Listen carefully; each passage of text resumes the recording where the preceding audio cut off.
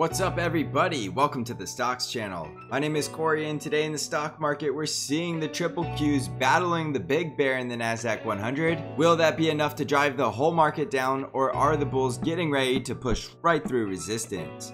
First up, let's take a look at the S&P 500 SPY ETF. So let's crack open this chart and see what's going on in the stock market today. All right, all right. Today SPY was up 0.85% and we continue to find resistance around this level at $400 on SPY. And as you can tell intraday, we were pushing outside the upper Bollinger Band and we were just getting way too far extended and the bears will take advantage of that situation every single time. Now in this market, you need to look at the trading range between 390 and 399 and you need to decide if it's time for you to take risks to the long side or the short side. We have the big bear just above around the 200 simple moving average at 406 all the way up to the gap fill just above 408 and the critical resistance trend line right there right around 410 to 412. So there is a ton of resistance from today's close just about 3% higher and it is going to require the bulls to defeat the big bad bear. So I'm currently looking at this market as risk off below 399 because I do think we're at risk at this level of the big bear coming down to this level and pushing price back down towards 390. Now you instantly need to get a lot more bullish if the bulls start getting green closes back over 400 for that gap fill right around 408 and the test of the resistance trend line. So you could say risk off below 399 but need to get a little more risk on above that level. And if you want to take on more risk, then you're taking on risk as long as we're above 390. But below 390, you need to get risk off for the gap fill to the downside and test of the support trend line right around that gap fill at 381.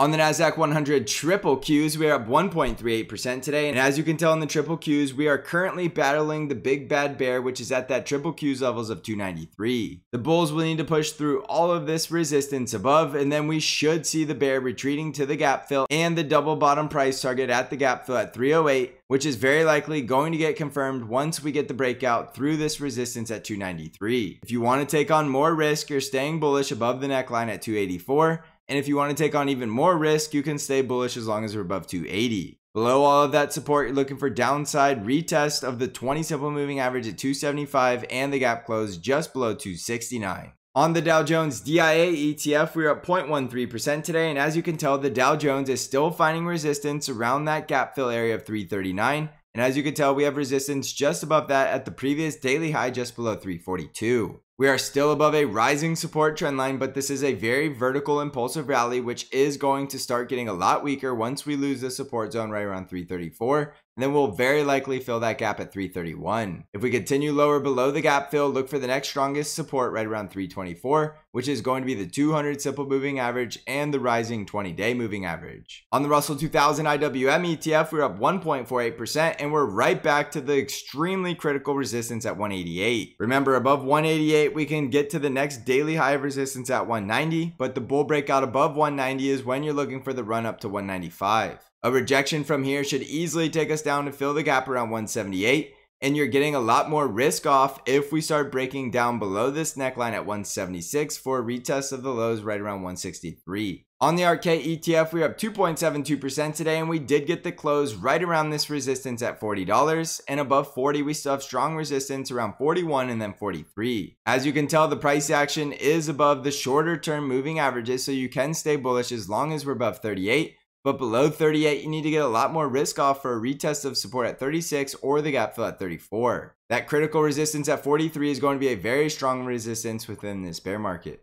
On the VIX, we're up 3.41% today, and the VIX is right back closing above 24. So you need to be a lot more cautious of a very volatile market while the VIX is elevated above 24. As you can tell, the VIX has been in a very strong downtrend, and the bulls have been taking advantage of that. But in the shorter term, we could be seeing a spike in the volatility yet again if the VIX remains above 24. If the VIX crushes, look for the gap fill to the downside at 21, which will favor the bull run. On Bitcoin, we're currently down 0.51%, and Bitcoin is still struggling around the 5 EMA of resistance just below 17,000 and it does look possible that we could be getting a double bottom off of the level of support right around 15,800. That's going to require a breakout above the neckline at 17,550. So that by far is critical resistance at this point. Above that breakout, look for a retest of the breakdown below the support at 19,000 And if we lose the support just below 16,000, the next price target will be down here at 14,395. On Amazon stock, we were up 0.46% today and intraday we did gap up to the resistance just above 102 and found resistance at the negatively sloping 20 daily moving average. As I continue to tell you, this is strong resistance around 102 because if we break above this resistance, we will very likely fill the gap below 110. A continuation and rejection of the downside will likely take us down to fill the gap just below $90. On Microsoft, we were up 0.17% today and we continue to close back over the 50 EMA, but we failed to break out to a new daily high above 247. Above 247, we have strong resistance at 252, and then above 252, we're looking for the gap fills in the 260s. To the downside, we have strong support right around 240 to the resistance trendline breakout of support at 237,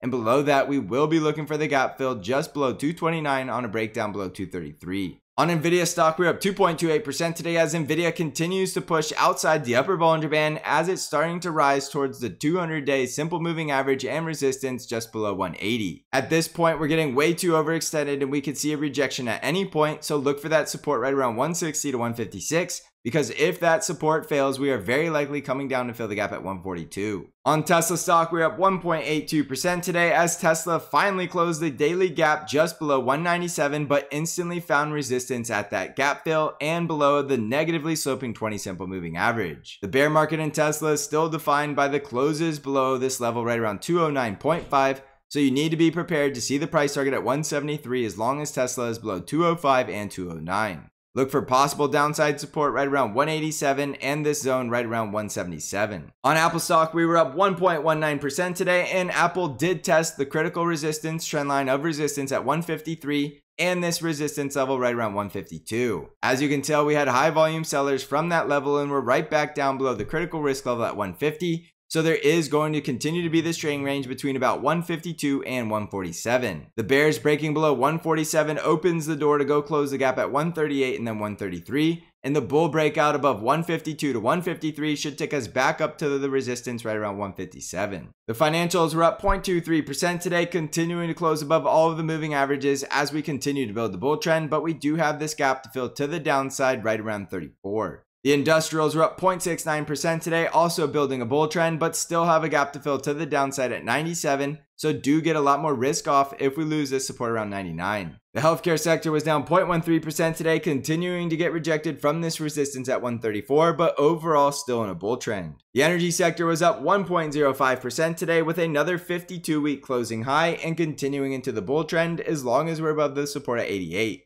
So jumping back over to the S&P 500, this is a very critical resistance right around SPY levels of $400 and you can instantly get a lot more bullish if the bulls can push through that level. Remember, this is still a risk on market while SPY is above 390, but decide how you're going to manage your risk and whether you're taking short trades or long trades, just remember to use great risk management. Also, don't forget to take advantage of the Black Friday special deal off BANC Trade Alerts where you can get 50% off two months of BANC S Plus or BANC. All you need to do is apply the coupon code Black Friday at checkout. BANC is absolutely crushing the market, beating all of the indices, including the T triple Qs and the S triple Qs, which is the only thing BANC trades. So take advantage of this special Black Friday deal now and try out BANC if you haven't already. And keep in mind, this is a limited time offer that will be expiring at the end of November. If you're looking to become a better price action trader, consider joining the Stocks Channel Trading Discord community where you get access to all of my intraday updates and analysis. You can find out how to join the Stocks Channel Discord by clicking on the link below. So thank you for watching everybody. I hope you're crushing this market.